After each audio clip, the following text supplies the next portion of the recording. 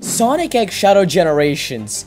I don't, I don't even know how to start this video, man. Sonic X Shadow Generations just dropped not one, but two trailers. And oh my god, am I so excited.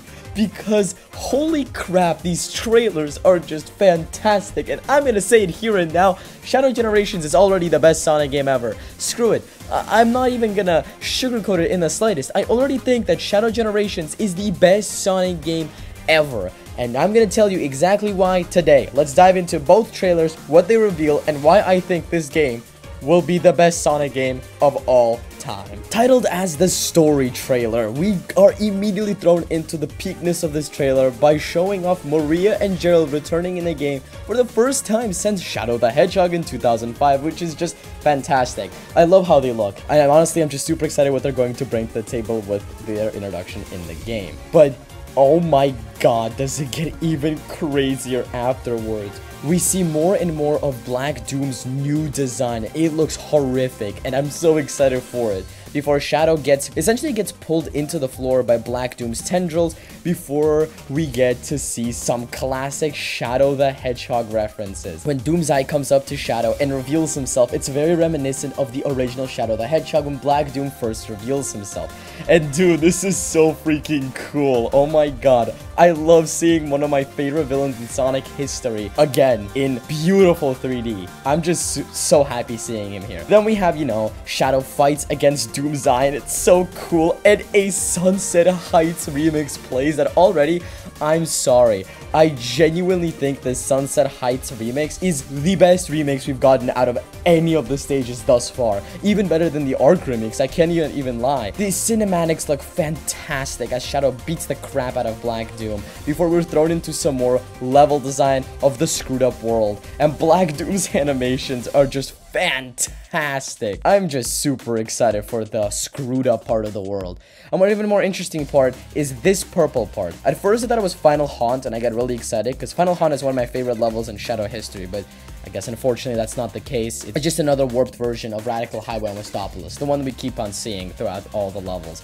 But man, does it look so cool. We get to see another small 3D section of Chaos Island, which looks pretty cool and all. I'm really excited to see how that level turns out. Before we get some more Kingdom Valley footage, finally getting some more look at these screwed up worlds and they look so cool to play through with with all the buildings twirling all out of shape giving me real multiverse of madness vibes we get to see some sections of sunset heights next and man that level looks fantastic before another section of chaos island and shoot this looks so cool. I'm so excited to play Chaos Island in Shadow Generations. It might actually turn out to be my favorite level in the game. Next, we get to see a fantastic animation where Shadow grows his wings and then proceeds to fly and face up with a screwed up version of Black Doom. And it's just so freaking cool. I can't stop geeking. But next, and oh my god, I will be screaming this entire part.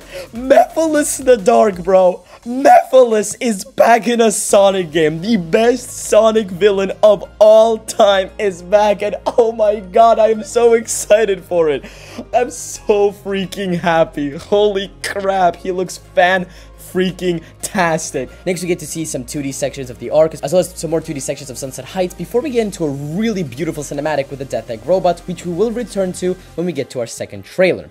Anyway, we get some more 2D sections of Sunset Heights before Shadow faces this really, really cool black arm alien that we've never seen before. He looks fantastic, and I'm really excited to see how he actually functions in this game, because it seems like sort of, of a mini-boss, which I'm really hyped for. Next, we get some more fantastic cinematics of bosses before Shadow says some of the most badass lines he's ever said, before the time meter appears and starts glitching everything up. We get a classic Sonic Generations, the clock ticking backwards before Shadow wakes up yet again in white space, all confused as if nothing happened.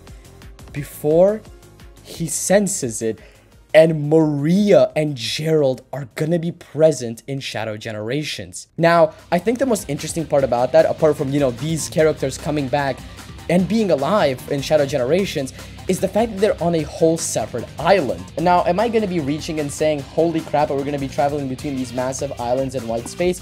Yeah, yeah, yeah. But then again, we do have Doomsurf, which would be an awesome way to travel between island to island. Am I basically describing Super Mario 3D World plus Bowser's Fury? Yes, yes I am, but I loved Bowser's Fury. In fact, Bowser's Fury was one of my favorite Mario games and still is. And if this game is taking elements from Bowser's Fury, I sure as hell won't complain. I'm, I'm, I'm just happy that it is. Overall, I have no freaking words as to how excited I am for this game. Shadow Generations just looks phenomenal. But we aren't done yet because we have a second trailer to go through. One for the PS5, which I just bought to play the game. We first open up with a PS5 controller turning red, and what we get to see is a cinematic of Shadow on the Ark before something fantastic, and that is Sonic and Shadow facing off, which means that, yes, we are getting a Sonic rival battle, which I am so freaking hyped for. It just looks fantastic, and the new models bought from Sonic Frontiers are just fantastic to say the absolute least. And of course we get some clips from regular generations, I don't really care for that. We get a couple of clips from the Shadow trailer we already saw, nothing too exciting until we see a better version of Sunset Heights. And wow, this level looks beautiful. It looks even better than it did in Forces, and that opening section is just so cool to see.